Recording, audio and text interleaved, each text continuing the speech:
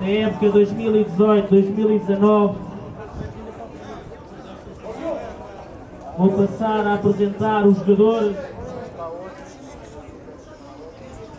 Ano passado, o Atlético Clube de Portugal, com o número 1, Bruno Fonseca.